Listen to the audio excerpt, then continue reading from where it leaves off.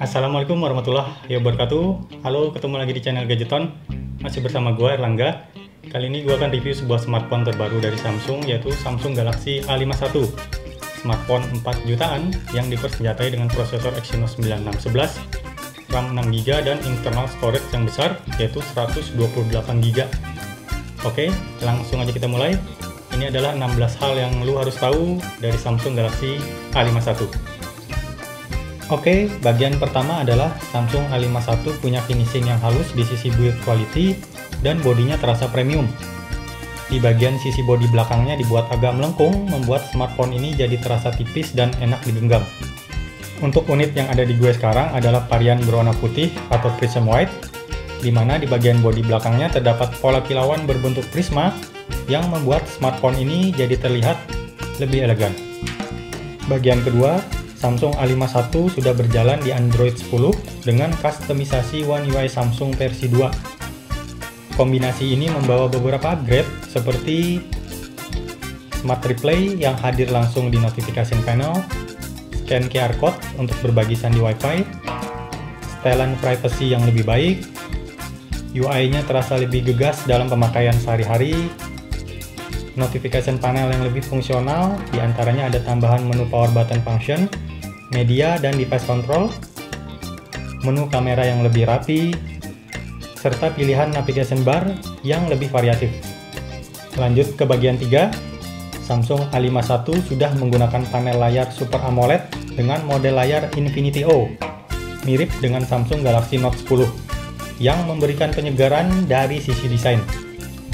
Layar Super AMOLED-nya sudah pasti bagus ya, enak di mata, sudut pandangnya lebar, dan punya kontras warna yang vivid yang membuat detail warna terlihat lebih tajam dibandingkan panel layar IPS.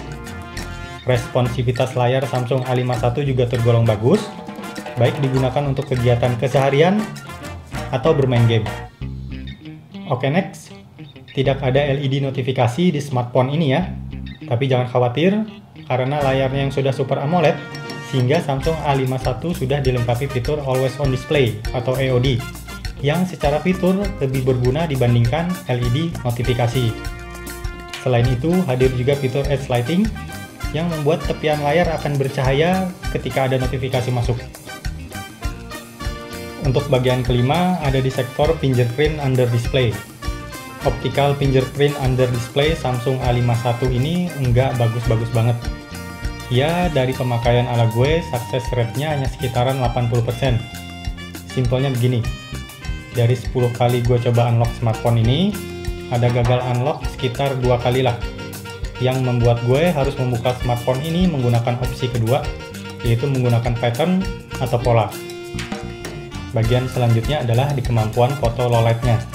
Low light fotonya menurut gue bagus, atau ada peningkatan dibanding pendahulunya Walaupun kita tidak mengaktifkan night mode di kameranya, hasil fotonya sudah terlihat terang. Ya, memang sih noise masih terlihat, tapi setidaknya dari tingkat kecerahan sudah tergolong oke okay banget.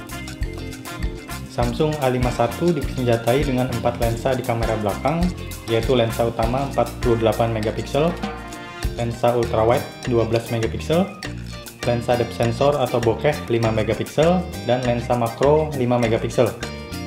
Hasil foto lensa utama, ultrawide, bokeh, dan makronya masuk kategori bagus untuk kelas harganya. Detail, tingkat kecerahan, dynamic range, dan produksi warnanya oke. Berikut beberapa sampel foto dari Samsung A51.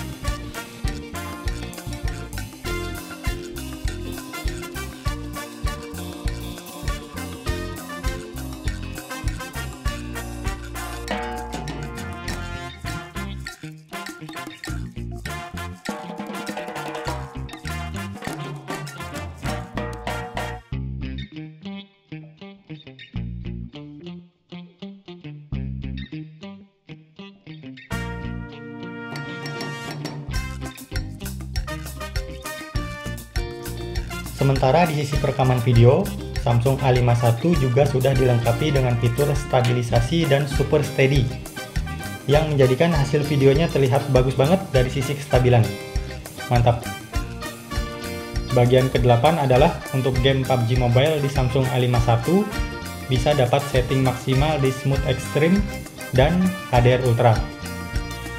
Untuk setting Smooth Extreme, game PUBG berjalan lancar, pergerakan oke, dan gameplaynya pun terasa enak. Sementara untuk setting HDR Ultra, gameplaynya kadang terasa berat dan agak ngelag. Kurang nyaman lah untuk dimainkan. Untuk HDR Ultra, sepertinya masih belum ketemu setting yang pas dari developer untuk prosesor Exynos 9611 ini. Lanjut ke bagian 9. Untuk game PES 2020, meskipun bisa dimainkan di settingan grafis high dengan frame rate 60 fps, tapi gameplaynya terasa agak berat dan kadang terasa patah-patah. Menurut gue udah masuk kategori nggak nyaman untuk dimainkan. Kalau mau dapat gameplay yang agak enak untuk PES 2020, cukup di settingan grafis standar dengan frame rate 30 fps aja. Sementara untuk game CODM dan Asphalt 9, jika dimainkan di settingan grafik high, ratingnya oke okay aja menurut gue. Nggak sampai oke okay banget. Gameplaynya lancar dan tergolong nyaman, sesekali akan ada frame drop, tapi overall nggak sampai mengganggu gameplay secara keseluruhan. Bagian 11 dari sisi performa baterai. Untuk pemakaian ala gue, agar Samsung A51 ini bisa kuat seharian, biasanya harus di-charge sebanyak dua kali. Ingat, ini adalah pemakaian ala gue ya, di mana dalam sehari screen on time gue rata-rata bisa sekitar 5 jam 30 menit sampai dengan 6 jaman, dengan grup WhatsApp yang tergolong aktif banget. Buat lu yang screen on time dalam seharinya cuma 2 jaman, smartphone ini harusnya bisa tahan seharian dalam satu kali charge. Lanjut untuk poin ke-12, di Samsung A51 tersedia fitur Secure Folder yang bisa memisahkan space pribadi yang kita anggap private. Kita bisa install dan menyimpan file apa aja di dalam Secure Folder yang terpisah dari space utamanya. Secure Folder juga hanya bisa diakses dengan menggunakan PIN atau fingerprint. Next, ada di sektor speaker. Samsung A51 cuma punya satu speaker dengan output suara yang tergolong cukup bagus. Suaranya keras dan jelas dan enggak cempreng. Ada efek-efek bass terdengar, ya walaupun nggak ngebas-ngebas banget, tapi udah cukup bagus lah untuk dipakai dengerin musik atau nonton video. Bagian ke-14, Samsung A51 sudah menggunakan port USB Type-C dan support fast charging 15 watt di mana untuk mengisi baterai 4000 mAh-nya dari posisi 2% ke 100% membutuhkan waktu kurang lebih 1 jam 54 menit atau sekitaran 2 jaman lah. Masuk ke poin 15, Samsung A51 sudah dilengkapi dengan NFC yang bisa digunakan untuk cek dan top up kartu e-money. Cukup aktifkan NFC dan tempelkan kartu e-money di belakang bodi A51 kita sudah bisa cek maupun top up kartu. Oke, masuk ke bagian terakhir yaitu poin ke-16. Samsung A51 punya temperatur bodi yang termasuk stabil. Bodinya cuma hangat-hangat biasa aja, nggak sampai panas. Ketika diajak main game berat selama kurang lebih 1 jam 30 menitan non-stop. Bisa gue bilang dari semua smartphone yang pernah tayang di channel ini, ini adalah smartphone dengan bodi yang level hangatnya paling rendah ketika dites gaming non-stop sampai 1 jam 30 menitan. Ya, itu tadi adalah 16 hal yang lo harus tahu tentang Samsung Galaxy A51. Mudah-mudahan bisa berguna buat lo yang mungkin lagi mikir-mikir untuk membeli smartphone ini.